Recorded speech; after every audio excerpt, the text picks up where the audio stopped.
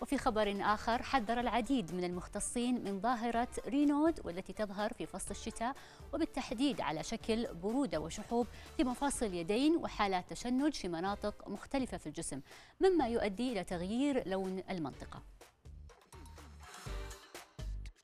فما هي هذه الظاهرة وما مدى خطورتها؟ للحديث أكثر ينضم معنا عبر الهاتف سليمان الجهني استشاري الباطنة والروماتيزم. أهلا وسهلا فيك. سليمان الجهني. حياكم الله. حياكم الله. حيا الله مشاهدينا ومشاهدات الكرام. الله يحييك. في البداية نبي نعرف إيش هذه الظاهرة ظاهرة رينود وإيش هي أهم تأثيرها على الإنسان؟ طيب هي ظاهرة رينود عبارة عن تضيق في الشرايين. آه، يحدث ما إحنا نسميه بالتشنج الوعائي التشنج في الشرايين الصغيرة مما يؤدي إلى تغير في اللون الجلد المصاحب لهذه الظاهرة. الظاهرة هذه عادة تكون في أصابع اليدين وأصابع الرجلين. ممكن تكون في أماكن أخرى مثلا شحمة الإذن أو طرف الأنف لكن غالبا ما تستبين معنا في أصابع اليدين والرجلين. نعم. آه، هي عبارة عن تغير اللي بيحصل عادة بيحصل شعور بالوخز أو شعور بالبرودة والتنميل وتغير في اللون المنطقة المصابة. آه، ويكون في تغير تغير مميز جدا بالنسبة لنا لأنه يمر على ثلاث مراحل.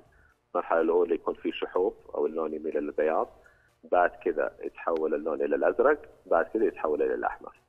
نعم. هذه الظاهرة الفينويد واضح. المختصر واضح دكتور. طيب أيضا دكتور خلينا نتكلم عن أسباب آه هذه الظاهرة. يعني وش اللي يخليها تظهر عند الإنسان؟ وهل يعني ممكن إنه يكون في شخص قابل إنه يعيش هذه الحالة أكثر من غيره وليش؟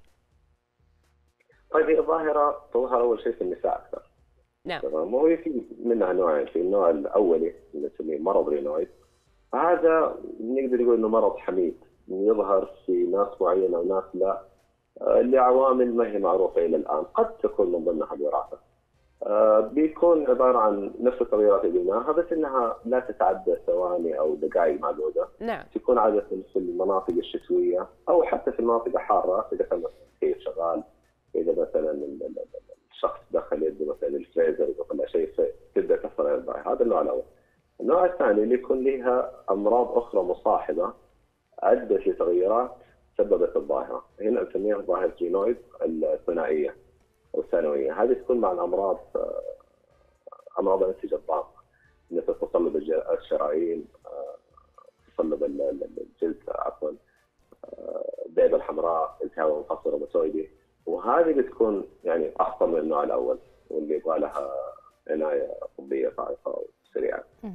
طب دكتور يعني آه، رينويد ممكن يتشابه في بعض الأعراض مع آه، ال livedo. آه الاثنين بيعملوا بنفس الطريقة بحيث إنه يصير في انقباض في الشعيرات الدموية الدقيقة أو حتى الشرايين وغيرها. هنا كيف ممكن آه المريض أو الطبيب يفرق ما بين الحالتين بحيث يعرف إذا كان آه مثلا رينود اللي هو آه من الدرجة الأولى اللي ذكرتها أو النوع الأول أو إنه هو يكون مصاحب لأمراض مناعية أخرى. زي ما قلنا انه في النوع الأول ما بيكون فترته طويلة. يعني بيكون عبارة عن ثواني أو دقائق. ما يكون في آلام ما يكون في تقرحات ما يكون يعني بيجي ويروح. ويوصف لك المريض بهذا الوصف كذا يعني واضح. إنه بيجيني الشيء هذا وبيجيني الظاهرة هذه وبتختفي. لو دفيت يدي بتختفي. لكن في حال كانت مصاحبة للأمراض ذكرناها لا ممكن يكون في ألم ممكن يكون في تقرحات ممكن يكون في تغير شديد في لون الجلد يعني بعض الأحيان حتى يوصل إلى السواد. والشيء الثاني الأعراض المصاحبه للأمراض بيكون الأمراض نفسها لها أعراضها الخاصة. فبيكون في الأعراض اللي هي تبع الرينويد بيكون في الأعراض تبع الأمراض اللي ممكن تسبب. طيب هو... ظاهره الرينويد الأولي بيكون بس الرينويد لحاله. طيب الفرق بينه وما بين ال livedo reticularis إيش الفرق بيناتهم؟ بين الرينويد وال. livedo.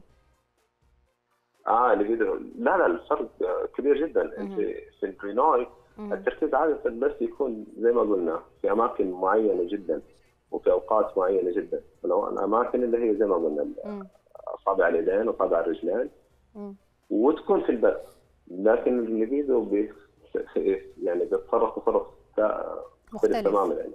يكون سهل جدا التفرقة بينهم يعني في عند الطبيب المختص طيب دكتور سليمان خلينا نتكلم عن طرق الوقاية من هذه الظاهرة. كيف أنا أقدر أحمي نفسي منها؟ طيب في حال النوع كان النوع الأول التدفئه تدفئه اليدين يعني في حال مثلا المريض هذا عارف إنه هو عنده مشكلة رينويد ودائما بتظهر له في الباب. يحاول قدر المستطاع يدفي نفسه.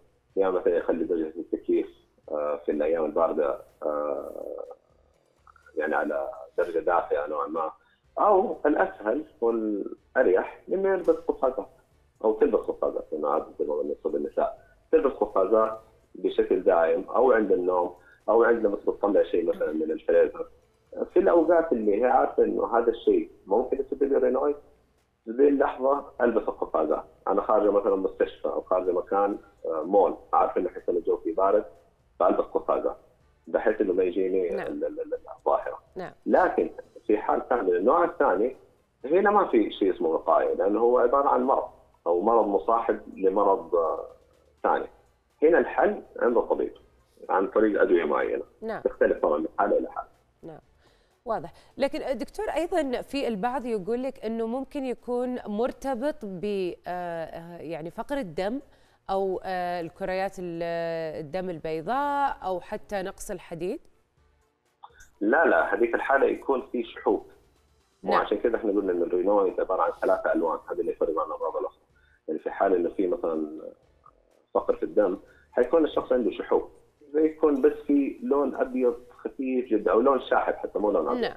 لكن الرينويد لا عبارة عن تخيرات مختلفة وتظهر على المريض اللي بيشوفه هو بعينه. زي ما قلنا يكون لون أبيض بعد شوي يمكن يتحول للأزرق بعد شوي يتحول للأحمر. نعم. ففي اختلاف في الألوان. واضح واضح. دكتور سليمان الجهني استشاري الباطنه والروماتيزم شكرا جزيلا وشكرا على هذه المداخلة.